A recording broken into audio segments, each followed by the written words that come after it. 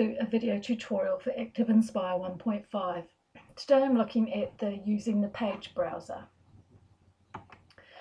Now the using the page browser can be found on your browser menu and it's the first button on the left. So here we've got a view of all the pages that are in this flip chart.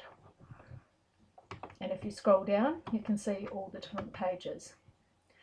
It is very easy to rearrange the pages so if I wanted to put all these pictures up a header slide, I can just take that slide and move it up one. Reorder the pages very easily.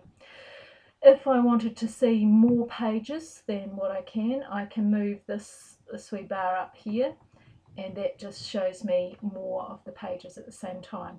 So I can rearrange things looking at all the pages and I can see what I want. It is also possible to copy one page and pull it into a different flip chart.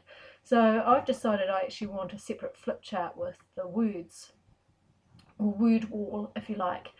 Um, and I want to put that in a different flip chart as well, something I can bring up on other days.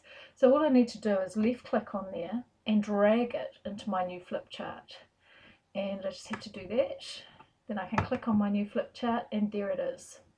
Now I can make that the only page in this flip chart, which is what I want. So I'm going to right click on the, the blank page that I don't want and I'm going to delete it. So I can delete that from the page browser as well.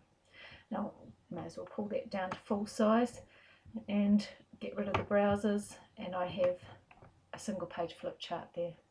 So the page browsers are a very useful tool for rearranging your pages, moving a page into another flip chart or seeing exactly what you've got.